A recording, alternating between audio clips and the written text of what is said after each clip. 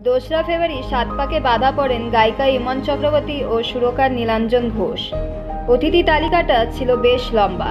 ইমন নীলাঞ্জনের বিয়েতে দেখা গেছিল গায়ক সৌম্যজিৎ দাস, সংগীত পরিচালক দেবজ্যোতি মিশ্র, গায়িকা জয়তী চক্রবর্তী এবং আরও অন্যান্য বড় বড় তারকারা।